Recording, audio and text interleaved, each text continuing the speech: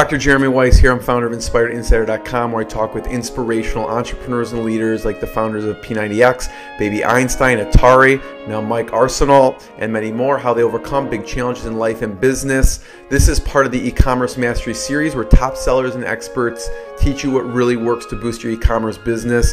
Our sponsor today is Acuity Scheduling. They help automate client bookings, cancellations, and reminders I use it personally to book my guests at Inspired Insider because it saves me hours of back and forth emails, coordinating schedules with busy people like Mike, and it's one of the top three tools I use to save me tons of time.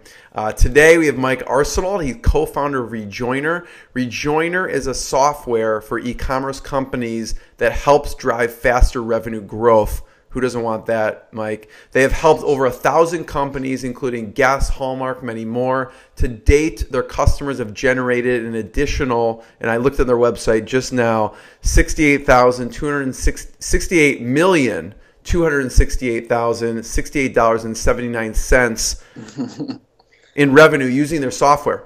And Mike's going to talk about how that is an actual real number and where that's hooked into. They have a strong value proposition that I notice when I go on on their site. It says done, and I know that you've thought you know hard about this. Mm-hmm. Done with you service by a team of e-commerce email marketing experts with a guaranteed ROI every month. Mm-hmm. Mike, thanks for joining me. Thanks for having me. I'm excited to be here. We could break down this introduction for the whole interview um, about the messaging and the dollar. So tell tell us what that's hooked into because you're like that's a real number when I read it yeah, to you yeah. before. So that revenue counter on our site is basically hooked into our database. Yeah. And on a on an hourly basis, we aggregate the attributable revenue from the campaigns that we run, and it tallies uh, on our site.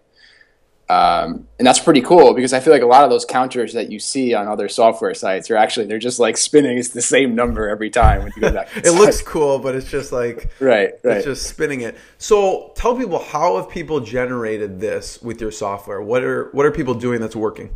Right. So we are um, it, the the software itself is a we, we refer to it as a life cycle email solution. Yeah, I noticed that. I'm like, tell tell us what that means. Life cycle email solution. Right. So you know, pretty much every relationship that an e-commerce company has with an individual customer has a life cycle, has a beginning and an end, mm-hmm. and engagement kind of increases over time as customers uh, come back to your site, make mm-hmm. their first purchase, make mm-hmm. their second, third, fourth. Hopefully, they become a loyal customer. But yeah. fortunately, for most businesses, that engagement peaks at some point. Yeah. And engagement. Tell starts, me, yeah, when does that starts, peak? Starts to trail off. Well, it's different for every business, okay. and it's different for every customer. And so, what our software is designed to do is, is recognize where customers are at in the life cycle and trigger communications, email in this case, which are relevant to that customer based on where they are uh, in the customer life cycle. So, mm-hmm. Are they a new customer? Are they an existing customer? Are they uh, a dormant customer? Have they lapsed? And they're all different campaigns that you can run throughout the lifecycle. Yeah. So, can you tell me, break down one individual customer case study and what that looked like? in the beginning, middle, and end, and what different campaigns get shot out that you found worked? Yeah, absolutely. Um, so uh, let, us let's let's use an example here. Um, we've got a customer who's a large. They're a big pet. Um, they're a pharmacy for for pets, hmm. right? Um, and there's like ten or eleven of these who are licensed uh, on the internet. It's a very small, uh, very small group of businesses who can sell this kind of uh, these pharmacy products for animals. And so they would come to us typically, and they would say, "Well, you know, we've got this problem. Um, you know, we think we've got a, a shopping cart abandonment problem." on our site. Yeah. Customers are starting transactions, but they're not finishing them.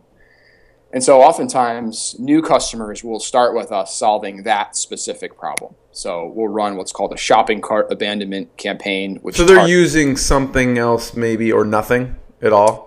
It's usually nothing, but they're typically yeah. measuring the problem in some sort of other analytics tool. So typically Google Analytics. Mm-hmm. So they can see that they've got you know a million customers who start the checkout process every month but don't complete it, but they don't really have any idea what's going on in between. I see. Uh, so that's one that that typically we start with, and then after we launch a successful cart abandonment campaign, we usually expand into one of two places, either uh, potentially a welcome series for customers who are purchasing for the first time. That's another one. Um, or another big opportunity is what we call a win back campaign, which targets customers who uh, haven't been back to your site to purchase in quite a while. Mm-hmm. And we try to really hone in on you know, what is what are the typical reorder periods. Yeah. Like how long does it take a first time customer to make their second purchase? Right. And once we establish that baseline, let's say it's 32 days, we know that a, a win back campaign should be triggered at day 33 for Right. any customer who hasn't made their purchase by Yeah. then.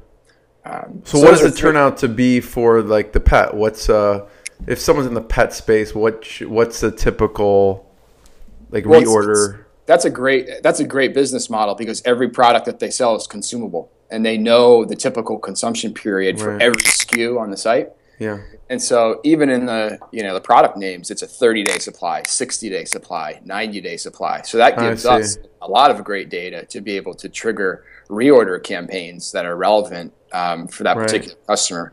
It's like you know I wear contact lenses, and I get a reorder email on the usually within the exact week that I run out of contact lenses, Right. and it's completely frictionless where I just have to click through that email, Right. and there it is. There's my order. I just have to click buy. And that's the experience. They got you. Yeah, they got Those me. people should be on Rejoiner. yeah, exactly. Um, and so, what about what what works well with the welcome series that you found? Because I'm sure people go in and just put whatever they want. Um, what's worked well with your expertise? Because you see it across a bunch of different industries. Yeah, Welcome Series is really cool because actually it capitalizes on Real quick, Mike. Um, your call, just the mic keeps hitting that, so I just want to make sure I hear you. So I don't know if you want to like unzip it a little bit, yeah, or zip it up, yeah, exactly.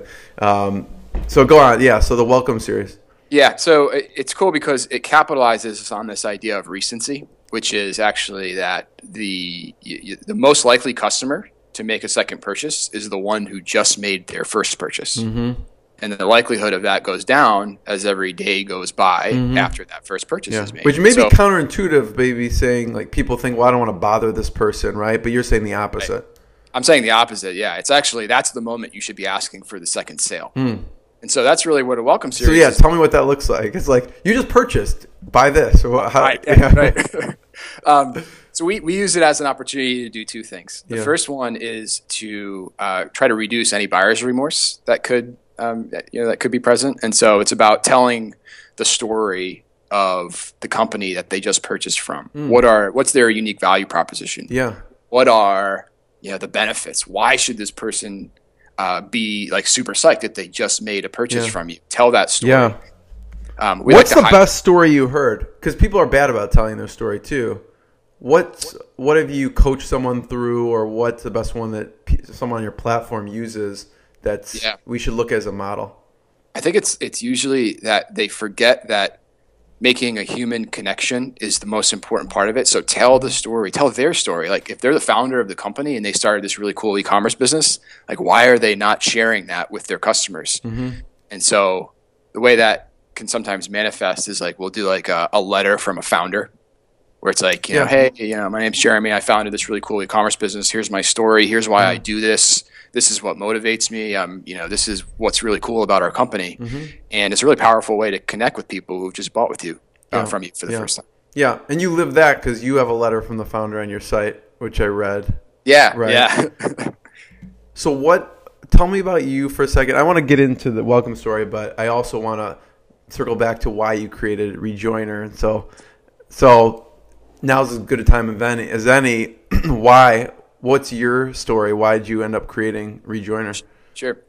Um, so, gosh, this goes back six or seven years ago. I was uh, working for uh, a software company Yeah. in, in Boston. Grasshopper. Yeah. Grasshopper, yep, yep, as a product manager, and we were experiencing a, pro- experiencing a problem ourselves where their uh, sort of e-commerce conversion process is we didn't have any salespeople, so it's a it's a, a software product where you kind of just go on the site, you pick a phone number. Background is that it's a, uh, a phone system for, for small businesses. Yeah. To make And- you look larger and also it redirects calls to yeah, I'm very familiar. Yeah, like if it calls a number, it redirects you to you know who whatever number you know press one for whatever you know this salesperson press two for the president or whatever Yep. yeah Yeah, got- yeah, right.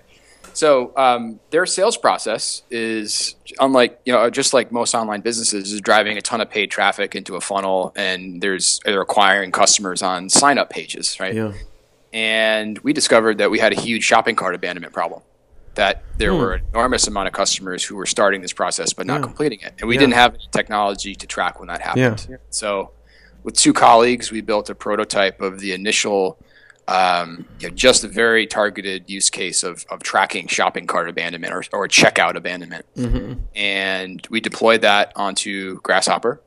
And we, we basically uncovered all of these hidden customers that we hadn't previously known existed before that. And we said, wow, okay, so what, like, we've got all this data. What are we going to do with it? Like, what are the best ways to follow up with these customers to get them to come back and convert? Uh, so we tried calling them, we tried emailing them, we tried live chat, um, and it turned out that uh, you know email was the most effective tool. Right. And so that was the initial very narrow problem Yeah. that we solved, and it just it, Yeah. it grew from there. I love that rough sketch of because that's the early days conception of the product. Totally. Um, so what was working well with email? Because maybe you're just a good emailer as opposed to like a phone, you know, phone sales. Like, so Yeah. yeah, Um, I, I think there were a couple things that made it appealing. Um, uh, having customer service reps follow up is very expensive. Um, had a higher conversion rate, but uh, was was not you know, sort of um, cost effective based on who what we were able to recover. right. Uh, an email is great because it's scalable, it's automated, it's very easy to test. Yeah, Um, the infrastructure exists to send email fairly, you know, affordably, yeah. um, and so it ended up that that was the the direction that we went with. So are you uh, like a hardcore coder? How did you get this done? I'm not. This seems no, I- complicated.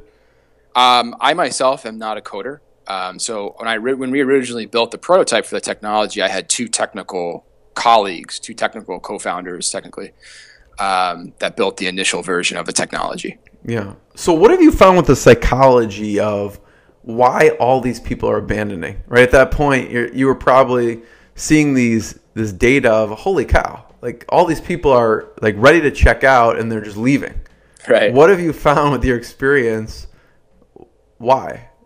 Yeah, it's different for every business. Um, Yeah. If, it, if it's an e-commerce company who's selling physical goods, it usually has something to do with you know some kind of unanswered questions or um, you know a lot of times it's shipping related. Either it's not fast enough or it's too expensive or it- you know, and then it's interesting. And then there are a whole class of things that uh, related to payment errors and bugs on the site and user experience problems that, that people have that oftentimes the retailer doesn't even know about until customers start bringing it to their attention. So that happens a lot too. Yeah. Um, in Grasshopper's case, you know, I, I think it, it was definitely most concerns were in the unanswered questions category. They just weren't sure how the service was going to work or how billing was going to work. And so sending that follow up email was the opportunity to continue the conversation and get those questions answered. Yeah. Which I think that's because the psychology is exactly what you include in the welcome part of the or the part of the abandonment sequence. So Totally. yeah, so knowing that is probably huge. So people can maybe if there's certain things do you suggest people talk to a customer who did like what how did they get Yeah. those insights so they know what to include in those emails? Well, that's actually the more important part of these campaigns, as far as as, as, as far as we're concerned, right? It's Yeah. like sh- sure, it's great that a, a percentage of customers will just click through these emails by default and complete their order, right? But the real opportunity is actually to gather that qualitative feedback about what's causing not to customers to convert in the first place, Right, right. because you can take all of those insights and proactively include them like Right. in your checkout process address Right. those concerns up front um, and really the best way that we've found to gather those insights is just to ask so that first email is, that you send is usually very Mm. customer service focused well you know was there a problem how can we help you um, just feel free to hit reply and some you know human being will get back to you Yeah. and customers when you when you ask them to do that are, are very likely to provide feedback if they didn't have a good experience Yeah. I like that verbiage. A human being will get back to you. right That's a good one. I mean, because people get into this robot mode, like, oh, it's just a company Just emailing customers, me. Yeah, they're not. There's not someone. They don't picture actually someone behind it. So I wrote that down because I need to use that in my emails. Uh, there's a human being that will get back to you like that. put it put it in the subject line. Like this is not an automation. I am a human. Um, so, what have you found some interesting reasons why people abandon? Because you've probably heard it all at this point. We've heard it all. Yeah. Um, yeah, I think like the, the the really interesting ones are where a retailer is attracting a subset of customers that they didn't even know were coming to their site, and they have like like international customers who are really keen on their product and they really want to buy from them, but they are unable to do so because of like you know their currency currency issues or payment method issues, and for the retailer, it, it enables them to like unlock this audience, this group of customers that they didn't even really know existed before. So I'm, I'm looking at a bunch of the success stories and testimonials. So, um, like VTech, Yep. um, electronics. Why do people abandon electronics? Tend to abandon electronics uh, shopping cart. Um, that one's probably on price. I would say most often uh, price and shipping. Don't they know the price when they're clicking through though? I mean, it's like okay, so it's more shipping.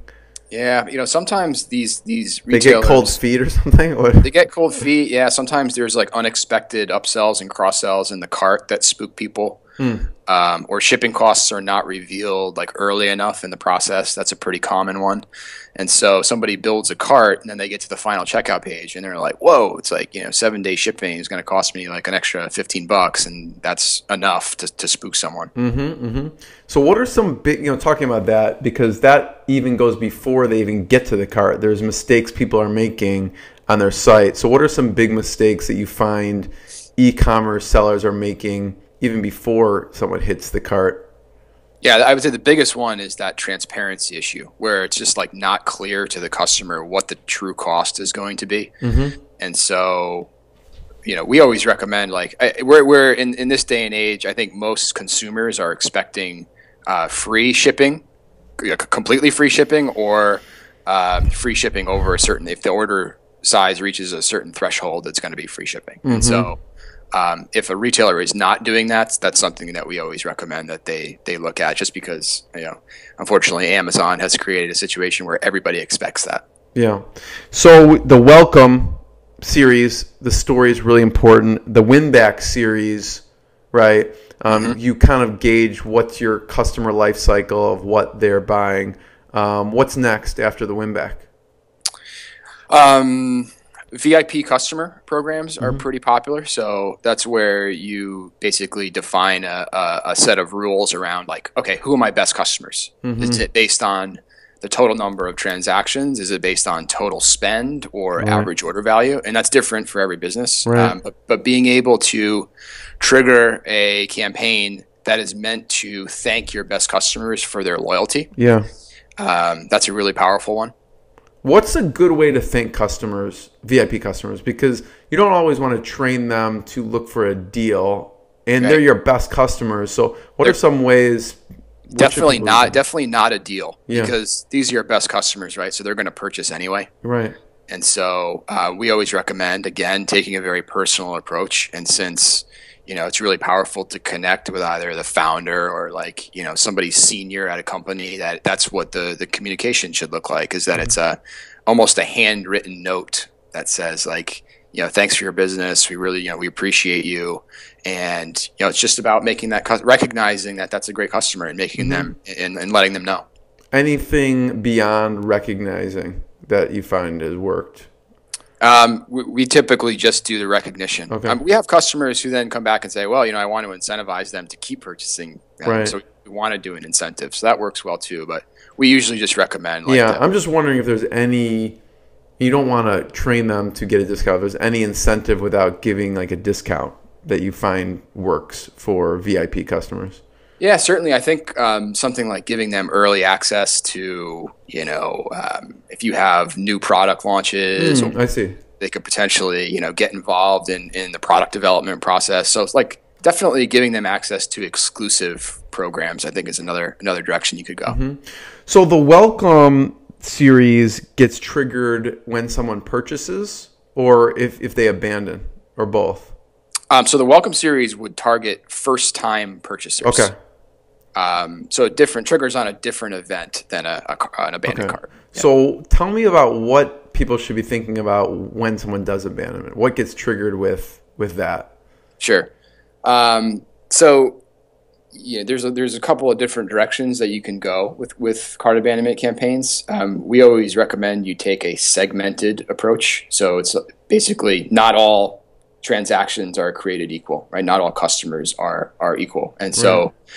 Um, from a segmentation standpoint, we, we recommend like uh, segmenting out high value and low value transactions, and maybe you should have different approaches depending on the value of the cart that the customer abandoned. Yeah.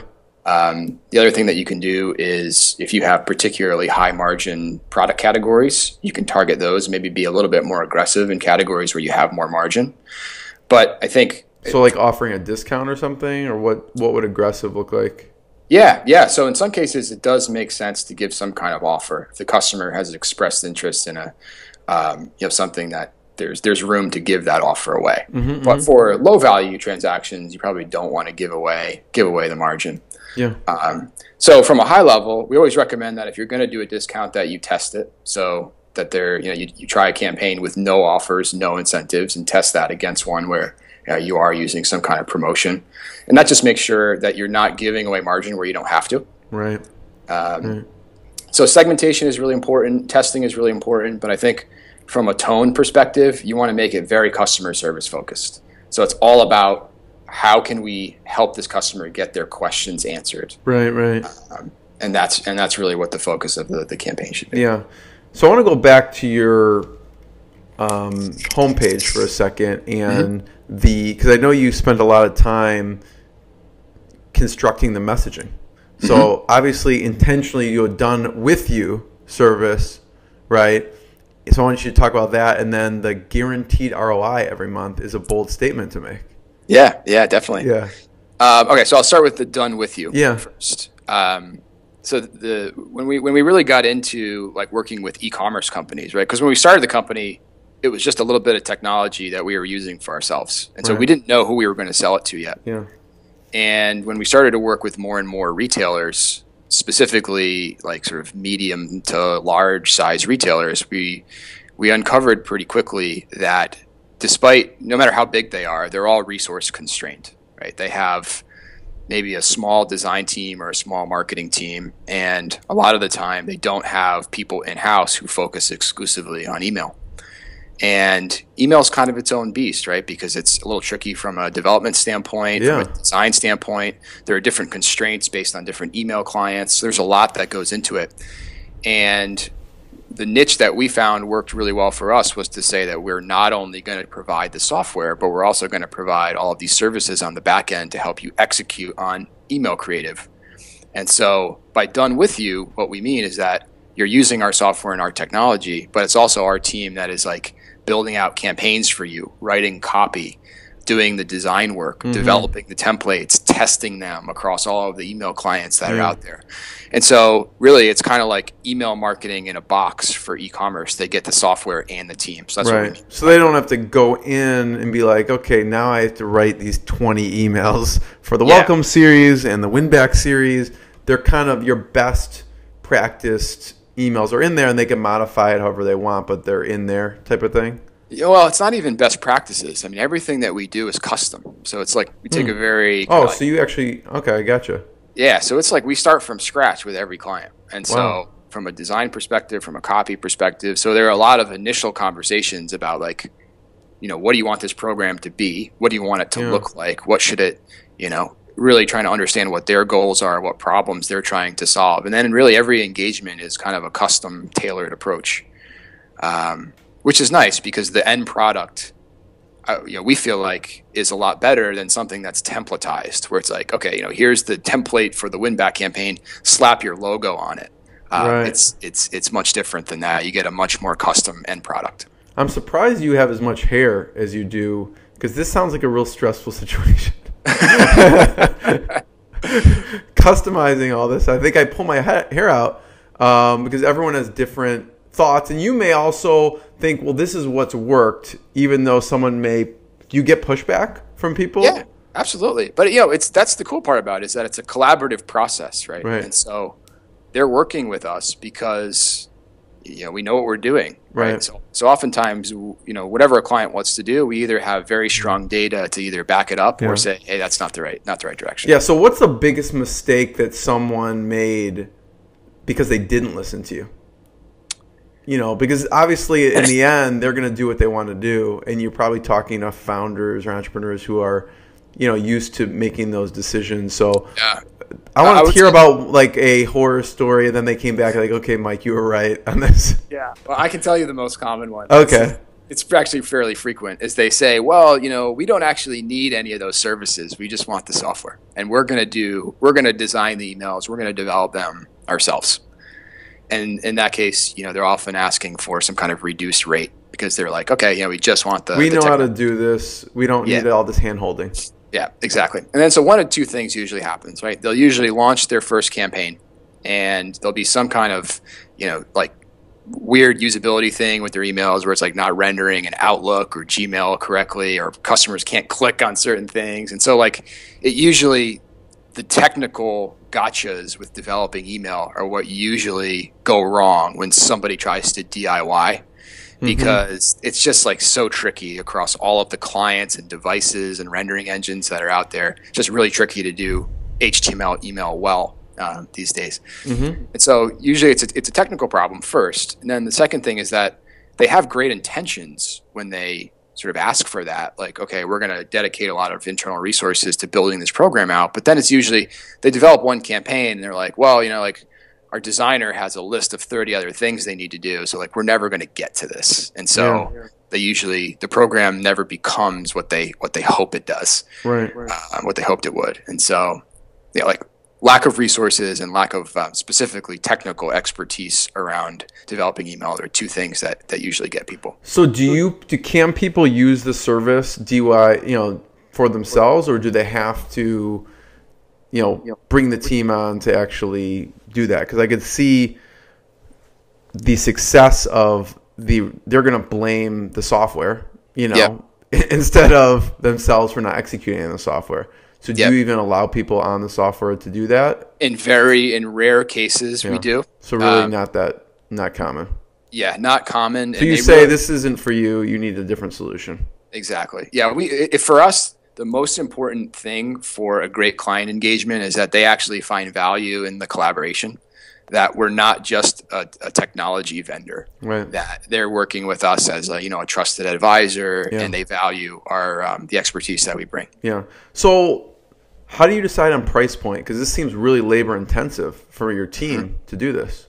Yeah, I mean, if you look at our prices, like you actually get a great deal for the price, but a lot of people come to that pricing page and they're like, "Whoa, a couple thousand bucks a month! Like that's you know that's a big number." Um, Yeah, I think the you- starting plan is a thousand a month, Yep. right? Yep. Yeah, so we break down our pricing based on uh, a few different uh, dimensions. It's basically what part of the customer life cycle you want to target, whether or not you Oh, I see. So the thousand is the recover. So it's more the life cycle of the cart abandonment. Pre-purchase, yep. Pre-purchase I stuff, gotcha. cart abandonment, yep. And then the retain package is all of the post-purchase campaigns that we've talked about. okay. And so then you can do both with the optimize add-on. Exactly. Yeah. And so opt- the, that add-on is is that our team will proactively A/B test um, all of your uh, all your campaigns for you. Mm-hmm. And so again, on your homepage, you say it's guaranteed ROI. So tell me about how you guarantee the ROI. Yeah. Um, so the, the guarantee comes in the fact that there's no uh, annual contract. So it's a month to month service. And so basically, if you're not happy with the return, uh, you can cancel. No questions asked. Um, the other way that we do that is in the first 30 days, we've got like a you know like a 30 day money back guarantee where we'll do all the work to get your first campaign set up, do the creative, um, integrate our software on your site, and then if for any reason during that first 30 days you can you can opt out again, no questions asked. Yeah. So who is this good for? Because obviously, if someone's coming, having ten people come to their site, it's going to be hard to recoup that. Yeah. What level business is is good to use Rejoiner? for an e-commerce company, uh, there's there's a threshold. I think in terms of traffic is really the the important thing. So we usually say it's five or six thousand unique visitors per month. Um, you know, for an abandonment campaign specifically, there needs to be at least a little bit of traffic moving through your checkout. Yeah, flow. for sure. Um, and so that's that's that's typically the, the, the threshold that we use. But we have you know clients who are doing less than that, but maybe they have particularly high value customers, right? So in Right. that case, it's worth it for them. or very targeted traffic and Yep. yeah um, so i want to talk a little about your background how this came to be with rejoin and i peppered you on questions about about welcome campaigns um, but so a couple of fun facts and most people may not know about you mike even it's not even in your letter to from the founder on your site is you're a kayak fisherman which is interesting did you just grow up with with this or Um, well, I just love fishing in general. In general, so um, I've got the kayak. I've got. where are you from boat. originally I'm from Rhode Island. rhode island okay Yep, and I, I live in Rhode Island now. I live in um, a, a, a town in southern Rhode Island called Newport, and the fishing is, is great here. So yeah, I try to get out in the water as much as I can. So, growing up, what did you want to do when you grew up? Um, that's that's a good question. I I always had very strong entrepreneurial tendencies. You did. Yep. From your parents? Would Yep. Uh, both my parents are entrepreneurs. Um, so what kind of that- business were they in? Um, so my mom runs a very successful consulting practice, um, and my dad started uh, essentially a school uh, and residency program for people with uh, who are developmentally disabled. Really? Yep. Oh wow, that's amazing. And so they've both. What was his background to start a school like that? Um, he's a psychologist. Okay. And so he was working directly with kids who had, you know, learning disabilities, Yeah. uh, more severe developmental disabilities, Hmm. and there was a gap. It, there was an education gap that he identified. Hmm. sure. And so he opened a special school just for kids who have, you know, di- uh, disabilities that maybe couldn't be, they couldn't be helped by the public school system. Hmm. Um, and since th- that's that's grown into assisted living programs and, Hmm. and on, you know, all different kinds of uh, you know, social services. So growing up, you saw him create this. What what did you see from the background of what it took to do that? Yeah, I don't know if I knew, like, uh, growing up, that this was entrepreneurship, right? Because he wasn't necessarily starting a it was not a for-profit business, but Right. He was growing something. Still, my you're creating my- from from scratch from scratch. from scratch. Yeah. and he's building, he's building a team, and he's, you know, in, in his case, there's a he, he works closely with um, state government to get funding, Yeah. and so he faced almost, you know, all the same challenges that we face, just in a in a different Yeah. different industry. Yeah. So what big lessons did you learn from your parents? Um, I, I would say in both cases, just sort of like tenacity. Um, they've both been building the same business, like it, both their respective businesses for 25 years. That success for either of them didn't come quickly, Yeah. but once they reached that point, it's been you know amazing for Yeah. both of them. But it took a really it took a really long time, um, and they continued to focus on the same businesses. They didn't give up on either of them, even though Yeah. it took time. Yeah. So, did you have an idea? You knew you wanted to be an entrepreneur or do something like that. Yeah. Did you have an Yeah. idea from what did you want to do when you were young? Well, my first my first business was I started a landscaping company with my best friend in high school. Okay. Uh, and we did that for about four years throughout high school and into our first year of college. Um, And that was Mm-hmm. How did you my- get customers? Oh man, we did uh, we did some funny stuff. We did a lot of um, printing flyers and putting them on people's cars and in parking lots at the mall. um, that's how. That's probably how we got our first five or six. Customers. Really? So that worked. Yeah, that actually worked. Yeah, yeah. And then from that point, it was all referrals. We would just ask people for for referrals. And honestly, we didn't really want to work that much in the summertime. So like, we had enough customers at, at one point. We were like, okay, this is this is good. You got fat and lazy. Um, so, as you got older, did you have an start to have an idea of what type of business you wanted to be in?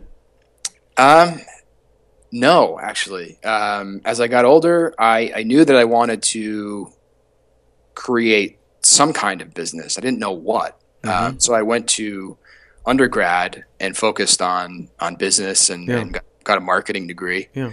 And what made you? Then you went on to Rhode Island School of Design. What made Yeah. you decide to do that? Well, I, I my first job out of college was with this really cool company called Continuum, which um, if you've heard of, have you heard of IDEO? Yeah, of course. Design consultancy. Yeah, So yeah. Similar product design. Oh, okay. Yep. So industrial design, graphic design. They were So doing it's a similar type of company.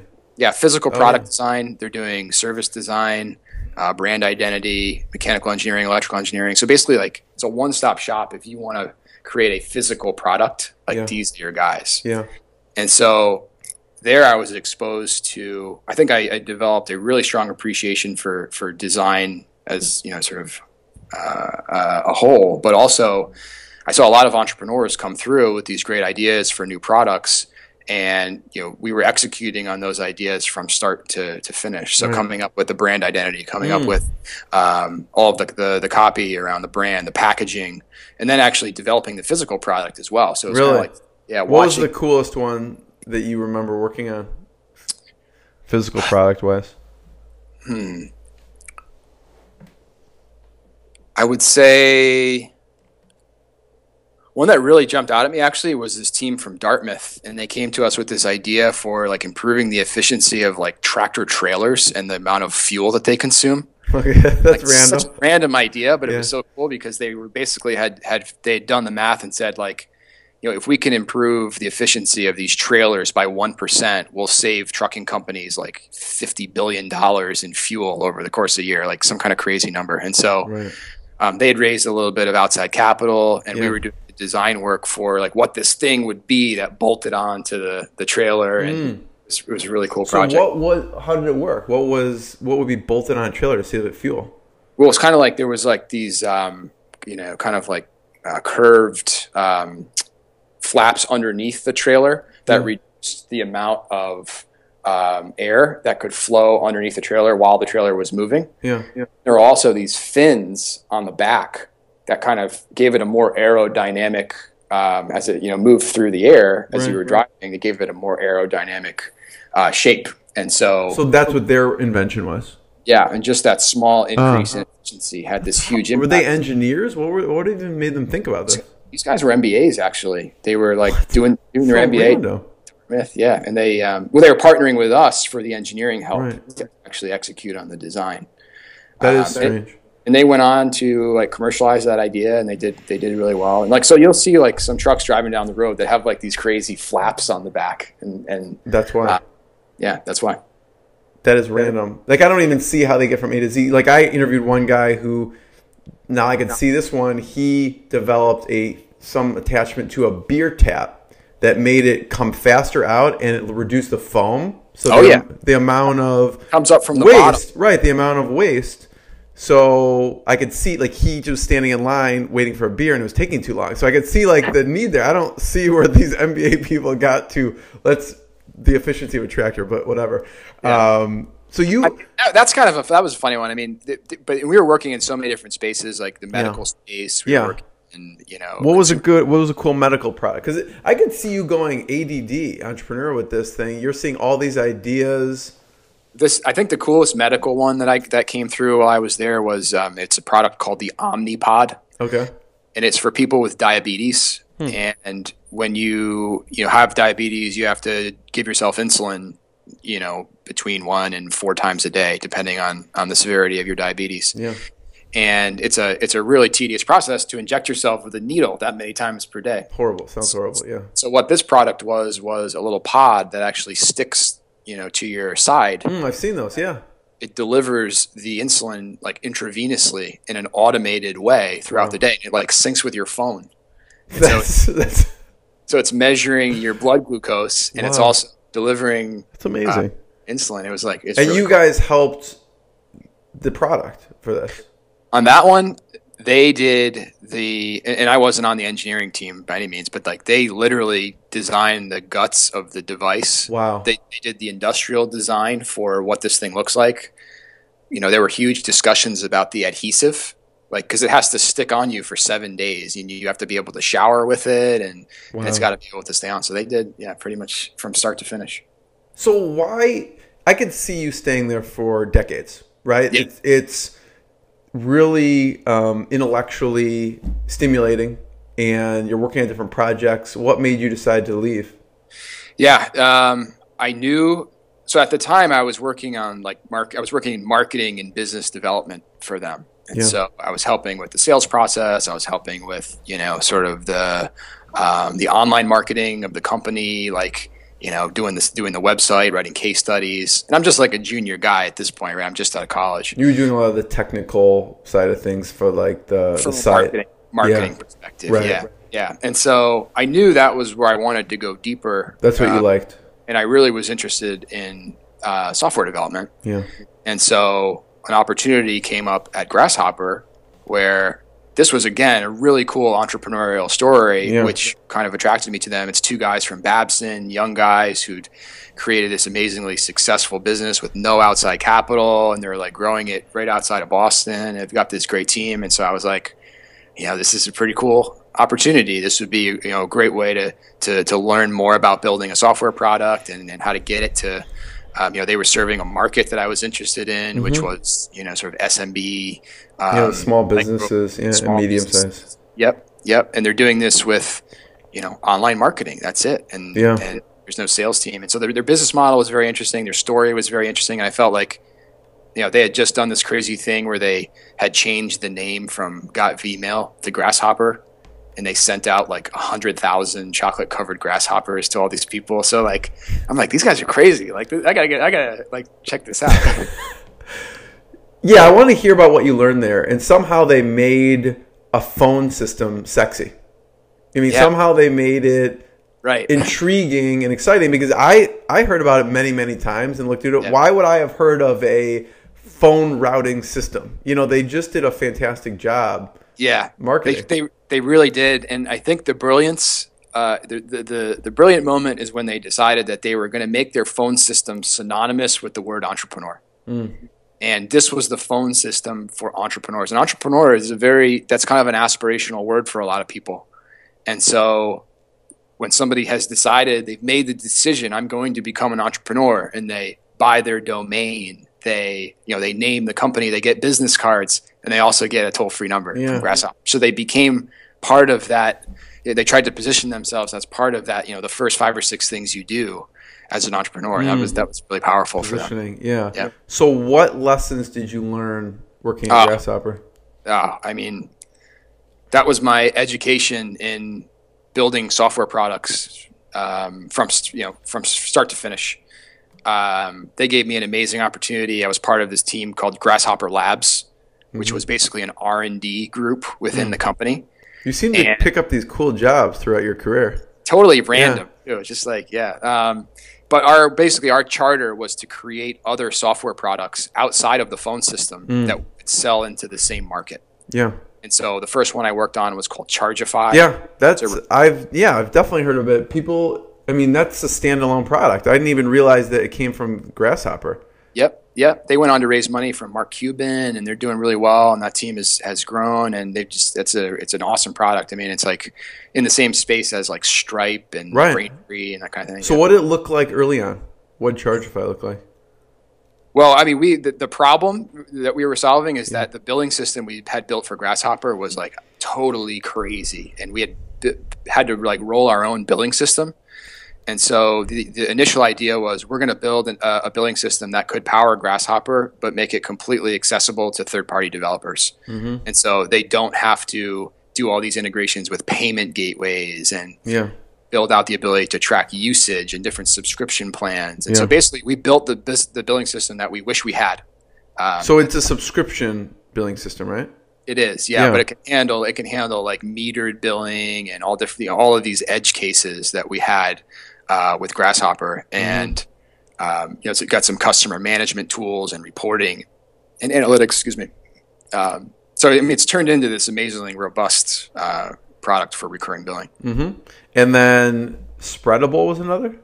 Spreadable was, yep, that was the second product that I worked on. And that was, again, spurred by uh, an insight that we had uh, sort of uncovered that like 60% of the signups that we got on a monthly basis were coming from word of mouth, from referrals of our existing customers. And so we said, you know, how can we build a technology product that encourages that behavior? Right. So it was kind of like a really simple widget for people to share either via email or social media, kind of like um, if you're familiar with AddThis, like it's I'm a not, sharing, yeah. sharing tool. Okay. And so basically, it allowed our customers to share an offer with somebody that they knew Mm-hmm, and get basically there was an incentive for them to share and an incentive for the other person to sign up.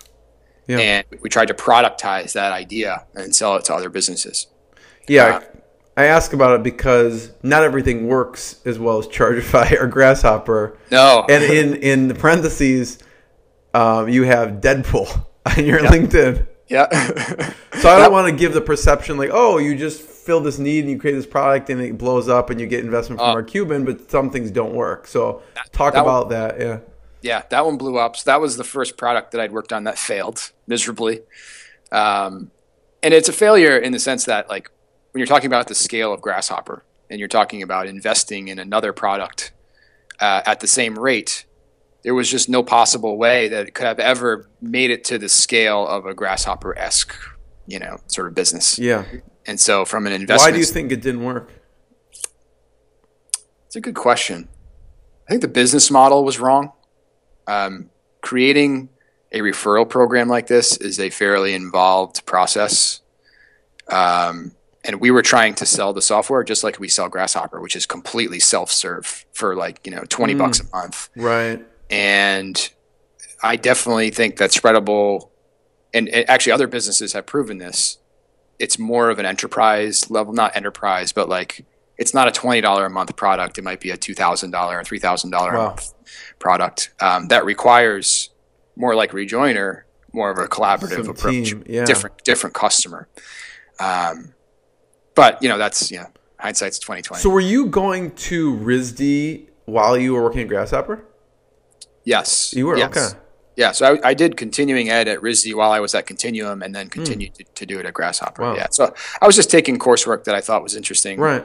like brand strategy. Because that's one of the top ones in the country, right? For design and yeah, Yeah. yeah.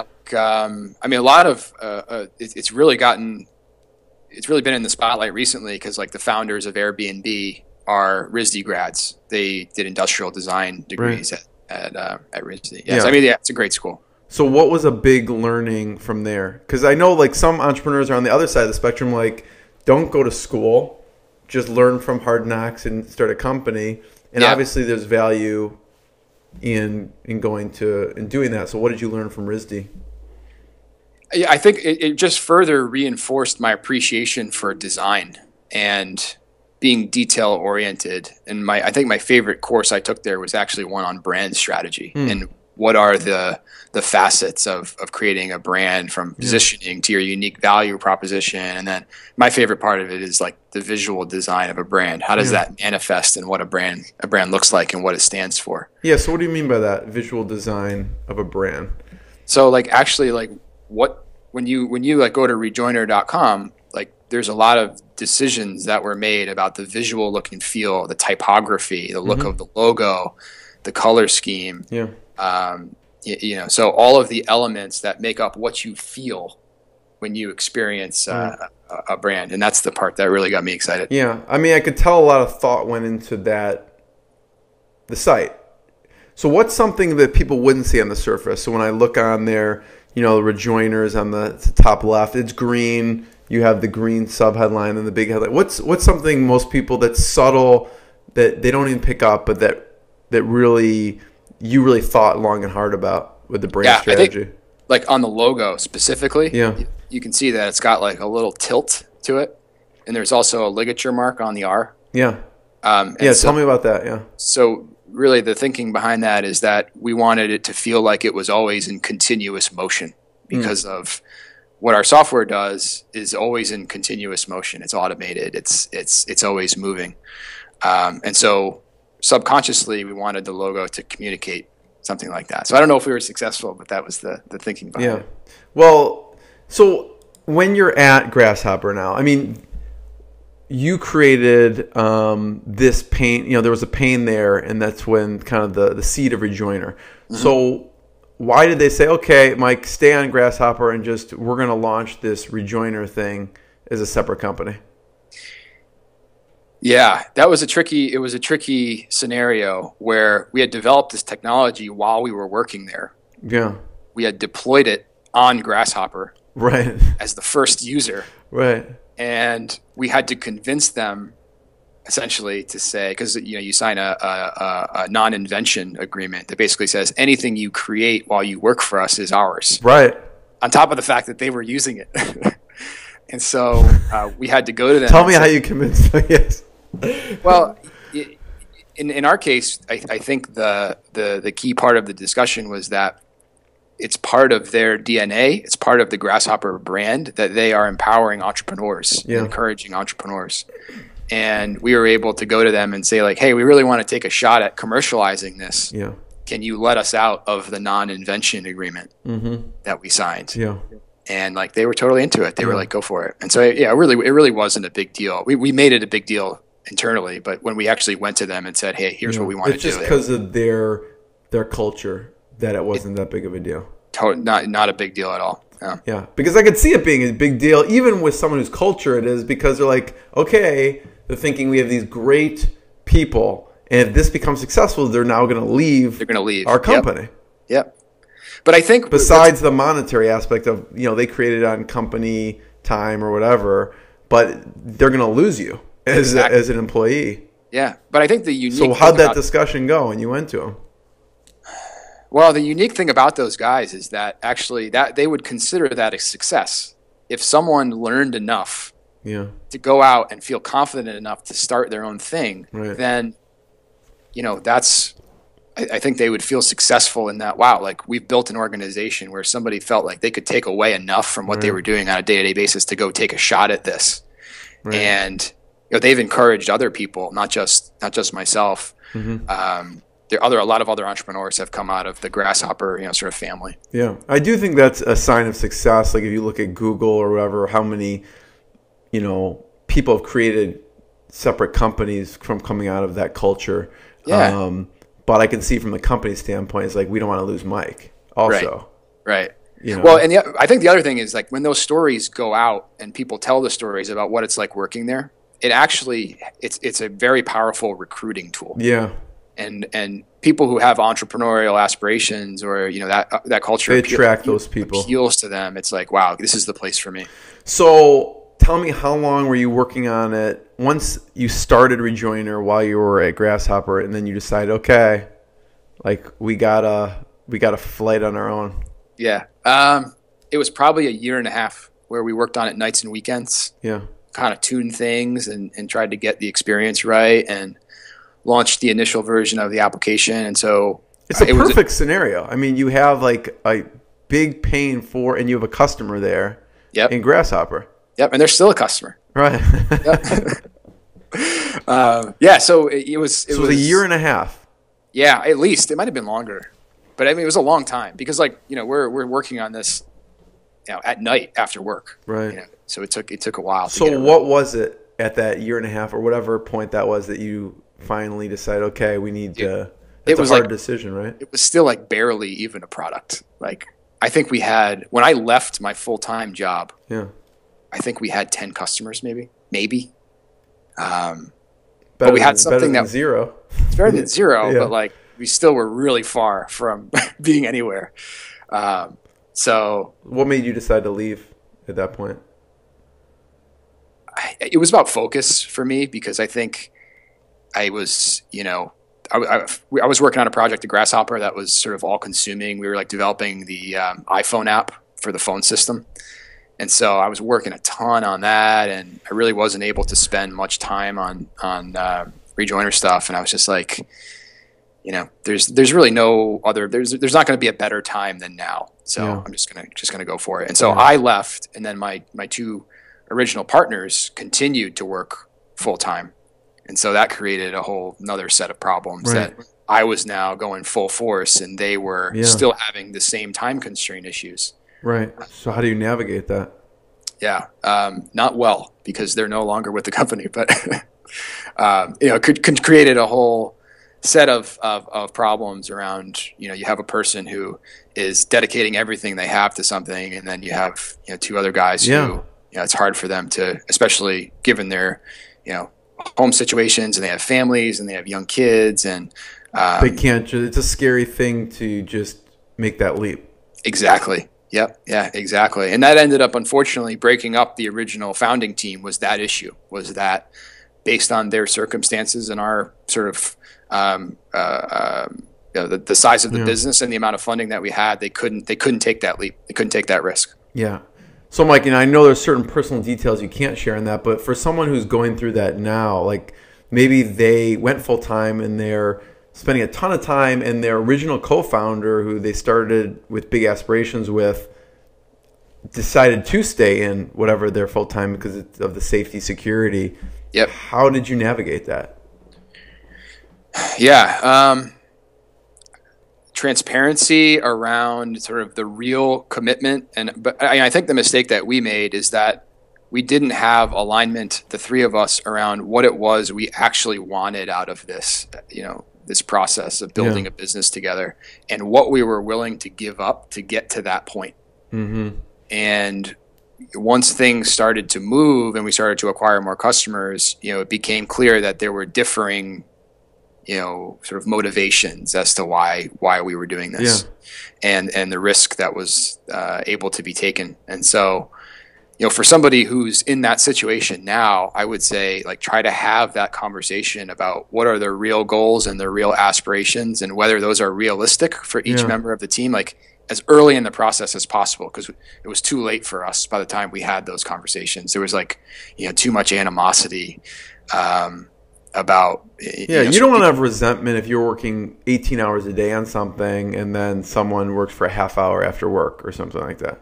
Exactly yeah and it's like you know hey i'll get to that thing where you worked all day to you know get a, a, a demo and a customer requested something and yeah. you need to change the product and you know they don't have time to to, to support you.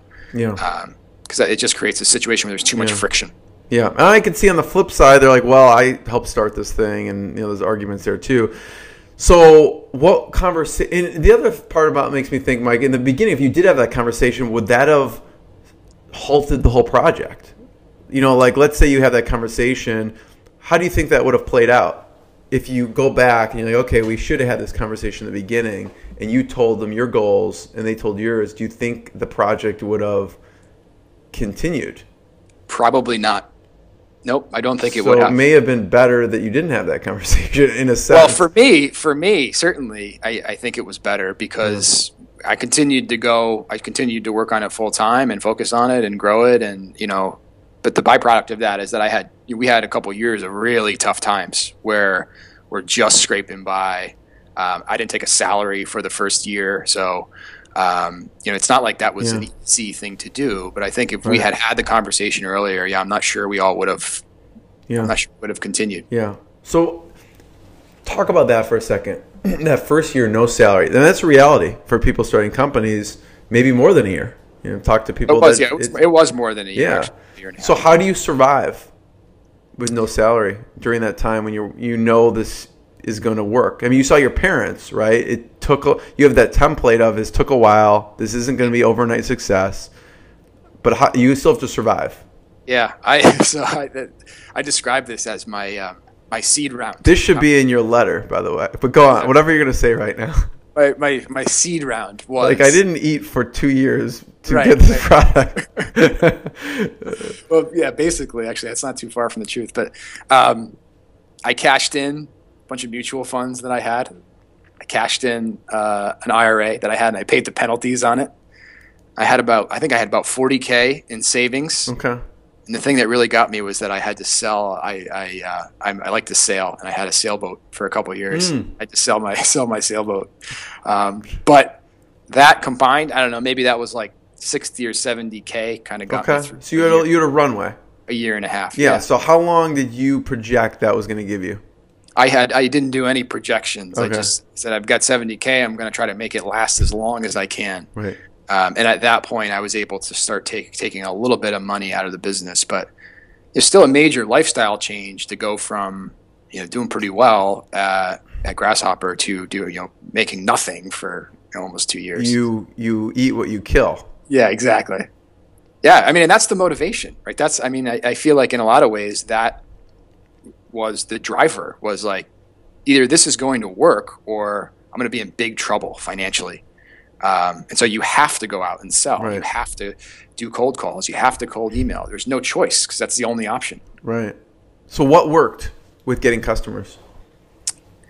I mean, the Uh, first ten I think is pretty good. By the time you leave the, the company, getting having ten customers, I don't know. I don't see that as uh, bad at all. Yeah, yeah. I mean, but you know, th- that first first ten customers represents like a thousand dollars a month in revenue, maybe at the most, right? And so it's, Yeah. you're still just covering. You're not even covering your infrastructure costs at that point. So, Yeah.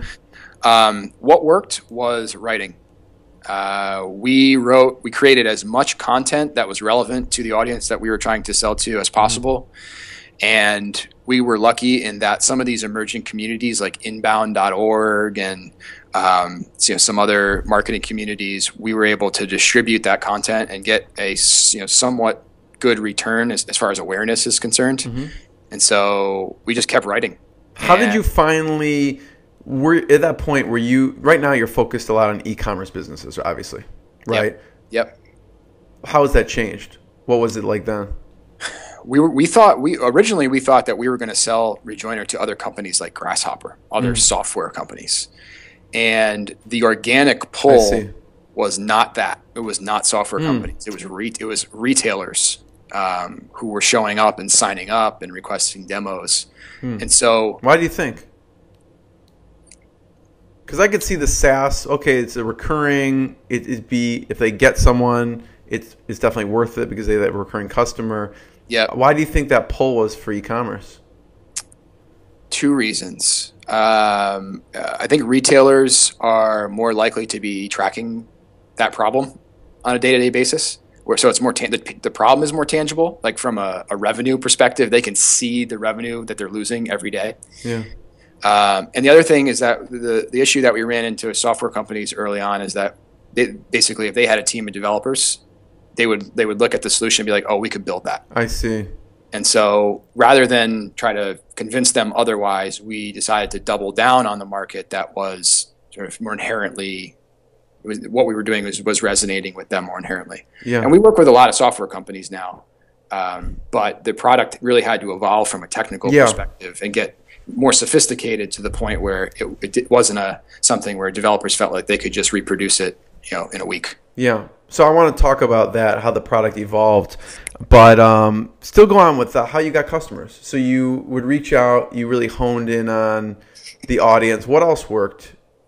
Um, so yeah, it was it was content, it was writing, it was distributing that content, um, and then the other thing is we have the luxury of the the customers that we serve are somewhat easy to find in that they are essentially grouped into um, based on the different e-commerce platforms that they use, and so there's a you know hundreds of open source and hosted e-commerce Like platforms. people who are on Shopify or people who are on BigCommerce or something like that.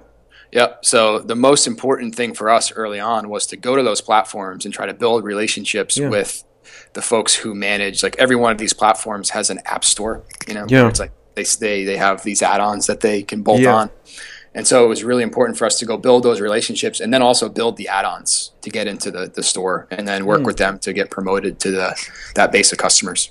Yeah, because I did notice there's an integration section, and I'm sure that was also well thought of. Like who who do you spend your time, money, and resources integrating with? Yeah, and it's and it's tough to tell because a lot of these platforms they have, you know, they say they've got twenty thousand stores. Well, in a lot of cases, How many got, are successful? they've got nineteen thousand stores that don't do anything, and they've got a thousand successful ones. And so you got, kind of got to dig through and, and try to find the the gems. Yeah. So who are the best integration, best decision integrations that you made? Yeah, definitely the open source platforms as opposed to the hosted platforms. So hosted are like um, Volusion, BigCommerce, um, Shopify. Um, we have better luck with open source platforms like uh, WooCommerce, NopCommerce, Magento. And the reason for that is, is that they're usually a little bit more flexible from a third party development standpoint. So I it see. makes gives us the ability to do more with our add-ons versus the hosted platforms, which are a little bit more rigid. Yeah. Who do you find to be the best fit customers for you? Like you're like, well, if I know if this person comes in from WooCommerce, like they are a good fit for us, or Yep. I don't know what that looks like.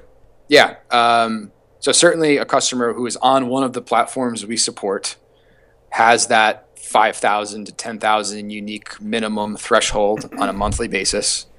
Um, they have some kind of marketing budget. Um, and that they're, they're, they feel like it's it's important that a customer feels like they're not getting the most out of their email program as possible. Yeah. And like the combination of those of those four things is how we gauge fit with like a potential potential Yeah. customer. So, a current co-founder, Mike, is Eddie. So, how did you meet Eddie? Uh, Eddie was customer number two. Okay. how did he for- find you? he got a referral from I think uh, either one of his colleagues or like maybe it might have even been a buddy of his who was in e-commerce, but um, he had was currently the the guy who referred him was somebody who was currently like trying out the software. We used to have a 30 day trial back in the day, um, and so I built a relationship with him. He referred me to Ed, and then um, you know, immediately we deployed the solution to his two e-commerce businesses. He's a successful e-commerce entrepreneur, and you know, you know that you know that you've you've Yeah. spoken with him, and immediately there was a fit. The software started working really well. Yeah. Um, And he does, for people who don't know, car parts essentially. car parts. Yep. Yeah. His his site autoplicity.com is essentially he's trying to be the Amazon of auto parts. And um, you know, his his background is he's he's been building successful e-com businesses in that arena for the last 10 years. Yeah. Um, and there was just a great fit culturally. Like we really liked each other. We liked working with each other. He started to, you know, really be vocal from a product perspective. Yeah. Like he was like the perfect definition of an early adopter He's perfect for you. Yeah. he started to shape what we were doing and what Yeah. we were building. Yeah. Tell me about that. What are some of the insights? What did he do? What did he say that, that shaped it? Yeah, I mean, from a uh, he helped us build out our analytics. Like, what are we reporting on as far as campaign success? You know, he wanted us to do a Google Analytics integration, so we did that. Um, he gave us a lens to look at what we were doing from our customers' perspective, completely objective in the beginning because he had no stake in the business, right? Right. And so essentially, you know, he's he's every decision that we're making, we're running by him in the beginning, whether it's pricing or messaging or product stuff. Right. And he and he's being like, Yeah, actually I don't really care about that. we're like, Oh It's a perfect, perfect. Yeah. yeah, yeah. And so that relationship just grew over time and then um, you know, we we we decided that it would make sense for him to to join on in like, you know, sort of in that capacity as the voice of the customer. Um, but also, you know, helping us with sales, business development, partnerships. He's really well networked in our industry. He knows a lot of people, and so you know, it just made sense to to, to bring him in. And he invested a little bit of money, and and um, you know, here we are today. So, what are some big breakthroughs you had with the product because of it? Could have been because of his insights or just the evolution of the product. Yeah. The biggest one was expanding our thinking beyond cart abandonment. Okay. and and and solving for this very we feel like our product had solved that very narrow use case like to the maximum degree we solved that problem Mm-hmm. and we needed to figure out what was next right Yeah. and it was thinking more holistically about customer lifecycle versus just one very specific part of the customer lifecycle. Mm-hmm. And from an architectural standpoint, the product was not even close to supporting all of that other, you know, all those other campaigns that we talked about. Mm-hmm. And so it was building out the roadmap to say, okay, here's what we want to do. We want to be able to address the, the entire spectrum of from start to finish of a relationship, you know, customer relationship that an Right. e-commerce company How did has. you come to that? It was just because you had reached the okay, we've done everything of cart abandonment. What's next, or was it something that someone said that sparked that? Yeah, I mean, it was a combination of both. It was feedback we were getting from customers. It was the fact that we felt like we had solved the cart abandonment use case, and it was also we needed to figure out a way to upsell and cross sell um, into our existing customer base. And so we had this group of you know, let's say 150 really successful customers. Well, it, you know, the question was, how can we make these customers more valuable? Yeah. What else can we do for them? Yeah. How can you serve them? Yep. And you're also more protected as a company, doing more things. Absolutely. Yeah. I mean, and the things fit together really well. So it's not like we went off and we did some other, you know, completely different idea. It was very closely tied to Yeah. what we were doing. So how long into it, Mike, did you then start to develop the the rest of the life cycle? Like the timeline. yeah. Uh, gosh.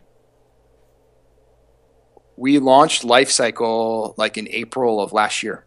And so we did cart abandonment for two and a half years. That's the only thing that we did. Yeah. I just want to give people a sense of it's not like six months later you're doing something else. I mean, you were just toiling away at this and getting that right before kind of moving on to the next thing. Yeah, we're talking years in Yeah. each phase, not you know, not months. In the early days, you know, when Eddie's like, okay, I need this integration, I need that, you're bootstrapping. How do you get this done and all these changes done? You have to say no a lot, unfortunately. I mean, do you have like a team of developers? How do you, Yep. how do you, yeah. Yeah, so that was another big thing is like when the original founders, when we parted ways, I had to rebuild the engineering team. Right. And It's so not easy to do. No, no, it's not. Luckily at Grasshopper, I had all, all this experience with building remote engineering teams. That's how we were building the, the Grasshopper Labs team. That's what it was. It was, um, you know, really talented engineers working all over the world building software products. And so I had to essentially say, okay, now's the time to do that um, with with Rejoiner. So I had to go out and uh, you know went we, gosh we went through so many developers early on where it just didn't work out or there wasn't a fit or you know the um, the the commitment wasn't wasn't there and then we had um, we finally found one we finally found a crew of guys uh, in Poland actually so overseas Yeah. How did you end up finding them? I got a referral from another entrepreneur that I knew uh, who'd had a really good experience with them and we've been working with them for um, gosh almost three years now Yeah. Are people protective over their developers though?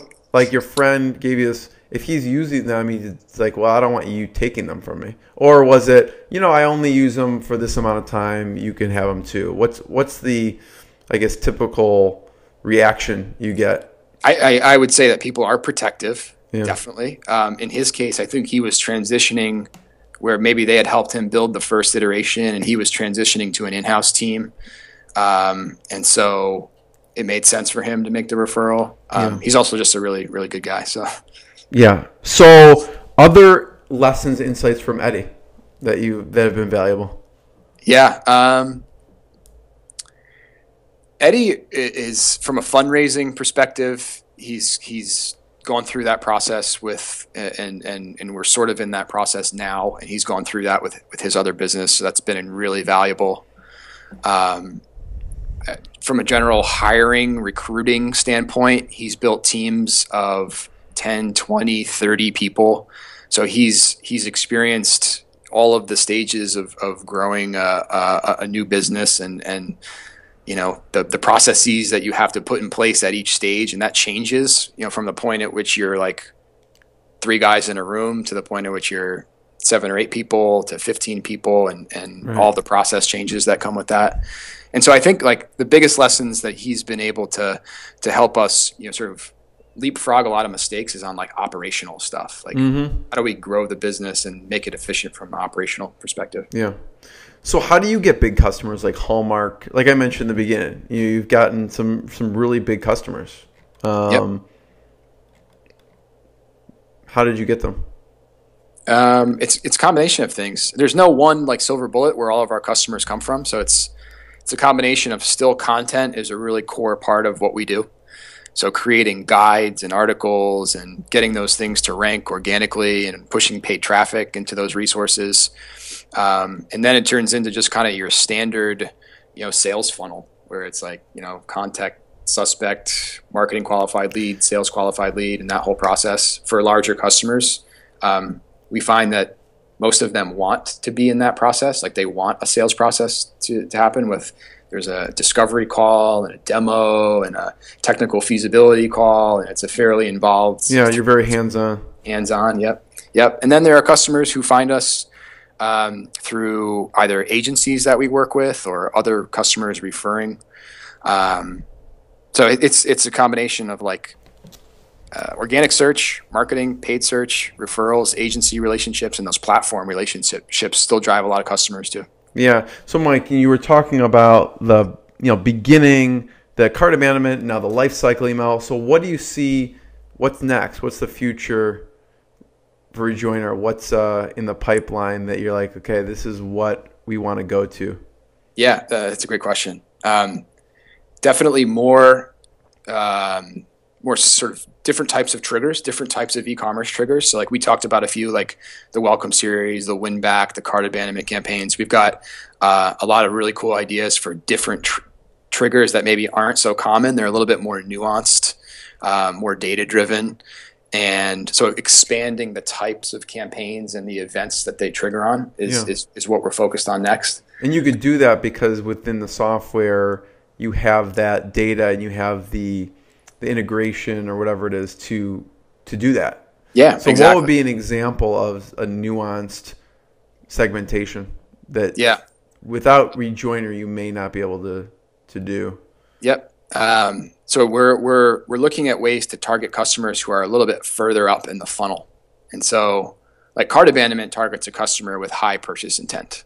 The post purchase campaigns target customers who are already customers, but there are a whole lot of events that happen before a customer gets to the cart where it presents an opportunity for us to use automated email to, to drive conversion. So, like a really good example of, one would be um, like a price drop campaign. And so, sounds fairly straightforward, but you're letting a customer know when the price of an item that they're interested has changed, mm. gone down, mm-hmm. preferably. But it actually, from a technical perspective, requires a ton of work to be able to recognize when prices change. Do that in a scalable way across all of our customers who are sending us that data. And so now that one works really well because it's very Let's contextual. Yeah. So it's like the customer has expressed you need to be able to define the business rules, right? So customer looks at product page XYZ eight times and so they qualify for that segment. And then need to be able to recognize when the retailer changes that price, be able to recognize the event and use it and do that using our existing integration. So nothing yeah. else required uh, on behalf of the retailer. So that's yeah. one that we're, we're, looking at for uh, 2016. Yeah. So, Mike, how do you, I want to hear about the softwares you use to run the business because this sounds like I mean, there's so many different things here that you're talking. About. I mean, you, are talking about sales, yep. managing a team, probably hiring, thinking about what's currently you need to work on on the software, and then currently what you need to want to include in the software. So, tell me about how you manage all this stuff. Yeah. Um, we use a lot. We use a lot of software. Um, so I've got you know a two screen set up. On one screen, I've got there. There are a few applications that are always open. Um, so we use Slack for team communication. Mm-hmm. Um, we use Trello for product roadmap. Yeah. Uh, we actually use um, uh, uh, an automation, a marketing automation system that's geared for B two B. Um, we're a marketing automation system for e-commerce, but we use one called Active Campaign. Oh yeah, sure. Which which helps us with like auto response. They're in Chicago. Yep. Yeah. Yep. Yeah, we love those guys. Um, we use Close.io for CRM, so like deal tracking and, and tracking what stage uh, certain uh, leads are at. Yeah.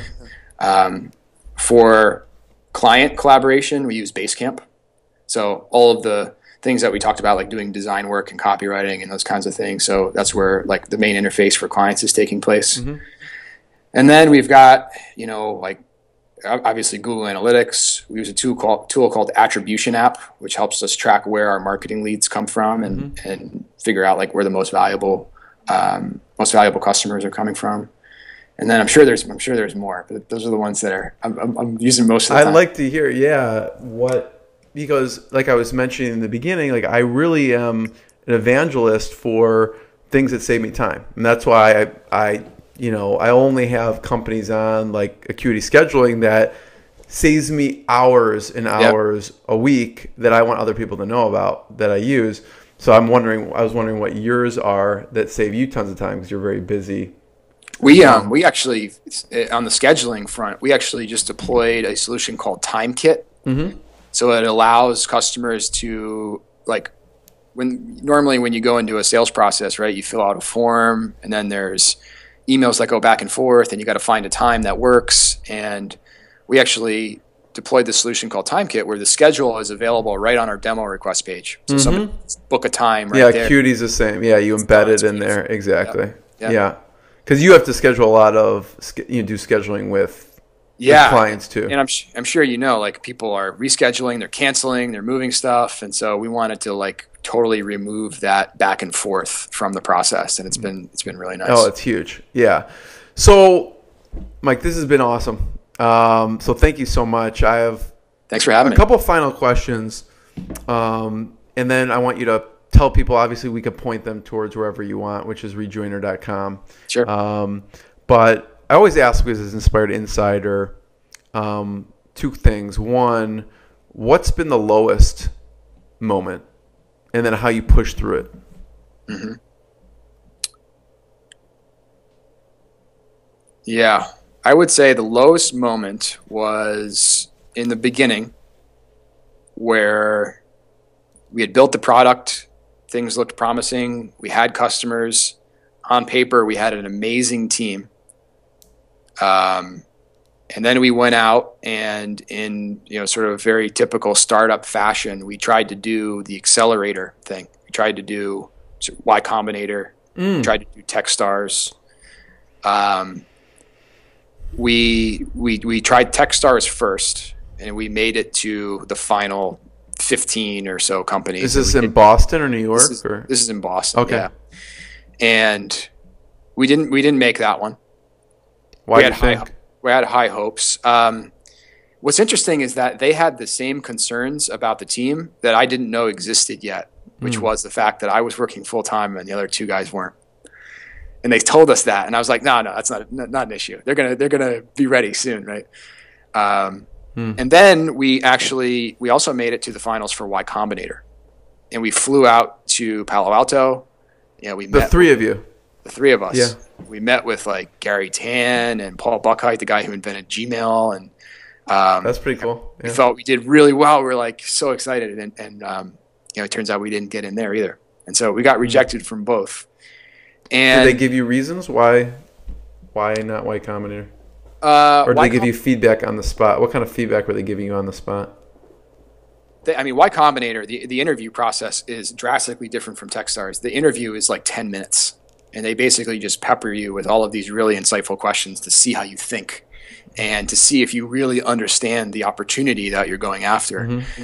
And yeah. you know, we had practiced for days beforehand, but you can't prepare for the questions that they're going to ask. What you. were some of the questions? Oh gosh, I think Gary Garry Tan asked one where he was like, we had explained what the product does, and he goes, "What is this the Trojan horse for?"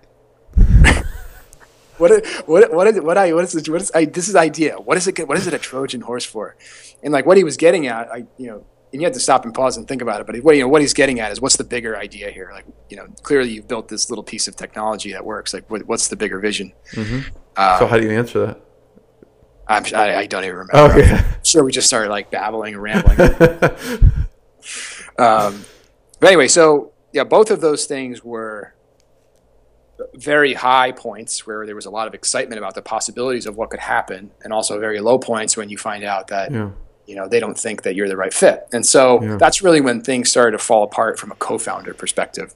Mm. Because I felt like one a win in either of those would mean would be the catalyst for the other two guys to Quit. be like, "This is real. Like we're doing it." Right. And that didn't happen. And so it was. Um, you know that I, you know probably got lower from there, but it was that's really where things started to to implode um, from a founding team perspective. Yeah, yeah. And so on the flip side of that, Mike, what's been one of the proudest moments? Yeah, um, I'm going to go with our first million in revenue. Mm. So what was that like? very proud moment, but it like I don't think it was the elation that I expected. It was kind of just like, okay, we hit it, like we did it. Got to keep going. Like, what's the next thing? And it wasn't a thing where it was like, you know, we threw a party. It was just like, okay, like, you know. When you when that happened, what did you think back on?